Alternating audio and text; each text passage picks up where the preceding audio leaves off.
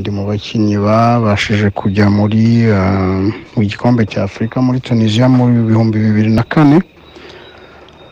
Eh, bo eh, burya kenshi biragorana ku ya kugereranya ibihe eh, cyane cyane ko eh, usanga nyine bi- ibihe biratandukana bitewe na eh, n'ibintu byinshi eh, bitewe na circonstance ngira ngo mbo abakinnyi b'icyo gihe nabo ubu ngubu kamembe baratandukanye. Bo gusa eh, umupira navuga ko ukiri wa wundi icyo navuga ni uko urebye kujya mu gikombe cya afurika mbo ni ibintu byahereye kameme ni parcours navuga ko ari ndende gusa wenda umuntu yagerageza gusa naho ayirezimamo gakeya. Eh, ngira ngo urabizi uhereye muri mu gihumbi kimwe magana cyenda mirongo icyenda n'icyenda nimba ntibeshye Eh, ndumva ari bwo twatangiye ikintu gisa naho eh, ikipe y'igihugu ihagarara neza ngira ngo urabyibuka ko twakiniye hari sekafa twakinnye mu rwanda. Icyo gihe u rwanda rwari represente n'amakipe abiri twari dufite ikipe ya rwanda a na rwanda b.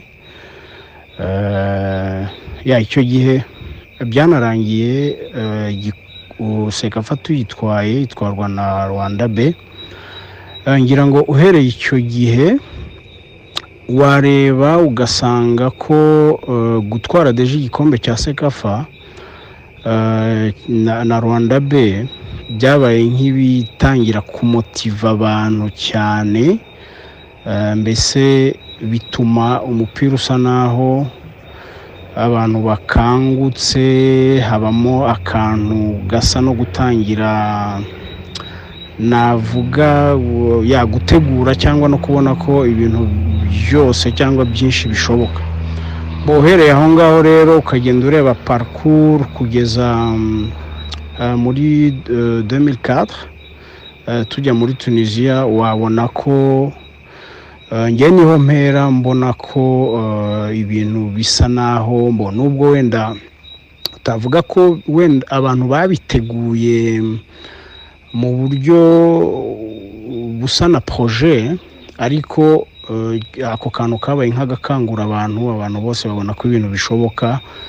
Et puis uh, tugenda nyine uh, du, du progressa buhoro buhoro buhoro buhoro kugeza igihe eh, twabashirije no kujya eh, mu gikombe cya afurika Eh, ntekereza ko nta nta ntago twigeze nta bitangaza twakoze kugira ngo wenda tubashe ku eh, kujya muri eh, muri kane donc nko kuvuga ko tweriminiye Ghana Uganda eh, n'izindi. Bo icyo nakubwira cyo ni uko ya nk'uko natangiye mbikubwira njyewe ngerageza ku donc ngerageza kureba parcours yacu kuva donc kugera icyo gihe nk'uko natangiye mbikubwira urebye habayemo u- uramutse usubiye inyuma ukareba sekafa yo muri mirongo icyenda n'icyenda rwanda b itwara igikombe wa- wagenda ureba ukuntu habayemo akantu gasa no gu- no gukanguka no guprogresa kugeza tugeze muri uh, kan 2004 Uh, i- ikindi na- na- nakubwiye ni uko uh, icyo gihe hari ikintu cya matirite hari ikintu cya matirite mu bakinnyi uh, ndabyibuka umutoza wese wa, umutoza wese wakoraga selection ya equipe nationale byaramugoraga cyane byaramugoraga cyane eh, kuko hari abakinnyi bakomeye hari abakinnyi bakomeye eh, urebye za ugiye muri Rayon Sport ukajya muri Kiyovu ukajya muri APR eh, hari hari abakinnyi bakomeye hari abakinnyi bakomeye ngira ngo ntabwo wenda nasubiramo amazina abantu barabazi. Ariko icyo nakubwira cyo ni uko iyo twajyaga nko muri lokal buri donc buri mukinnyi nta mukinnyi wabaga azi ko ashobora kwinjira muri lisite ijya mu kibuga. Ibyo nkubwira ni ibintu twicaraga mu byumba eh, tukadisikita kuko buri wese buri wese ya- yahoraga buri wese yabazaga undi buri wese abaza undi buri wese abaza undi. Ati "Se uko ubibona urabona muri cumi n'umwe ari nde uzajyamo urabona cumi n'umunani ari nde uzaba ari muri cumi n'umunani. Donc byari ibintu bigoye. Eh, nk'uko nabivugaga nyine mbo twabaga kameme dufite hari abakinnyi ngira ngo uribuka ko mbo hari periode twaje kugira kameme na support y'abakinnyi eh, bamwe ba- bavuye muri eh, muri Belgique. Eh, impamvu nshaka kugaruka kuri abo bakinnyi bavuye muri Belgique ufite ndagira ngo nkwereke ukuntu shampiyona yacu yari ikomeye shampiyona yari ikomeye kuko ngira ngo Eh, ndabyibuka hari nk'umukinnyi hagiye haza abakinnyi nka mukoko benoit hari eh, dumbuya ndumva mbibuka eh, mwibuka ndumva hari n'abandi bakinnyi bashobora kuba baraje ntibuka amazina ariko nzi ko hari abagiye baza Eh, ya hari abagiye baza ndabyibuka twigeze no kugira ya twigeze kugira umwiherero mu ruhengeri mu kinigi nimba nibuka neza. Eh, hari umusore wari wavuye muri Belgique. Eh, icyo gihe ndabyibuka twanakoze imyitozo dukora imyitozo ariko bigaragara ko yari hasi yacu cyane yari hasi yacu cyane. Eh, donc bikwereka ko nyine eh, shampiyona donc abakinnyi bari muri shampiyona bari ku rwego rwo hejuru ku buryo ku buryo na- na- n'abavaga hanze barazaga tu- tu- tugakompetitinga ku buryo hari abavaga hanze bavuye muri shampiyona zo hanze bagasanga turi hejuru kubarusha. Eh, donc bikwereka ko nyine icyo gihe eh, ibyo ntibikwereka ko nyine icyo gihe eh, mbese abakinnyi bari eh, ya bari ku rwego rwiza bari ku bari no ku bazi ni cyo ni- mbese ba- bafite na ka kantu ko gushaka eh, ko gushaka gutsinda ko gushaka ku eh, ko gushaka kugera kure. Donc iki kintu cya matirite nkigarukaho cyane eh, muri periyode yacu nabonaga hari ikintu cya matirite hari ikintu cya matirite iyo ufashe nka urumva iyo ufashe nka defense ya karisa claude ugafata leandre ugafata katauti ugafata ba sekosefu ba buranga icyo gihe ndumva ba- bari ba- nabo babaga bahari.